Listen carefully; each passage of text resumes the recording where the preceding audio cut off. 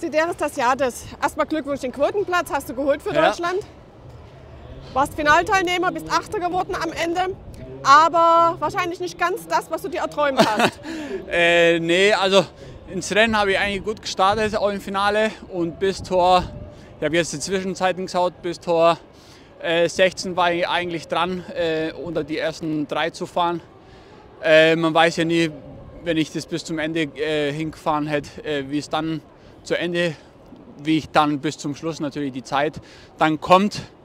Äh, zwei, mit zwei Strafsekunden oder vier jetzt, zwei Strafpunkte und vier Sekunden drauf äh, ist klar, dass man da nicht unter die besten sechs ist. Und das Feld ist mittlerweile so eng aufeinander, äh, dass man auch ein Risiko eingehen muss, äh, damit man unter die ersten drei ist. Die Strecke ist hart. Äh, man hat es gesehen, es gab auch viele 50er Ja. generell.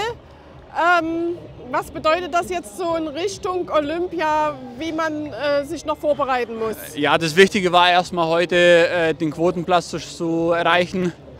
Äh, Habe ich geschafft. Das war so die erste Hürde, wo wir uns vorgenommen haben, wir drei. Äh, ja, jetzt nach Paris. Mei, es ist noch ein langer Weg, muss ich sagen. Ja, man muss hier und da vielleicht nochmal an sich äh, arbeiten, wo man sagt, okay, man geht das Risiko noch mehr ein und dass das Risiko, was man macht, äh, dass das auch dann aufgeht und nicht dann kleine Fehler da entstehen, ähm, wo man auch dann die Zeit verliert. Einmal im Finale war natürlich Top 6 dein Plan, sicherlich, um mindestens einen Punkt mitzunehmen.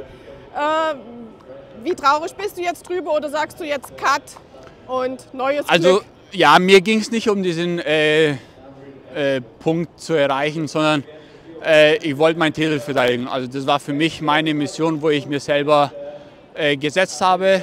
Die wollte ich erreichen. Äh, und da muss man ein gewisses Risiko eingehen, dass man seinen Titel verteidigt. Also wenn man der Beste sein will, muss man auch ein gewisses Risiko eingehen. Wie siehst du, ist die Konkurrenz noch mal stärker geworden äh, im Vergleich zu vorigen Jahr?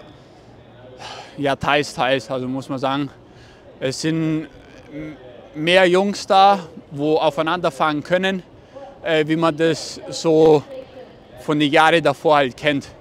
Äh, und ich glaube, das wird immer enger. Also man hat es ja jetzt gesehen bei uns, dass es schon sehr, sehr eng ist alles.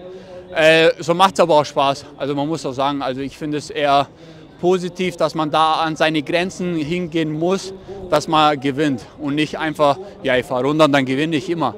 Ähm, also ich bin so einer, ich will eher mehr Risiko eingehen, dass, das dann, dass ich das dann erreiche und dann kann ich sagen, okay, das war das Maximum, was ich aus mir selber rausholen kann. Dann Dankeschön. Gerne.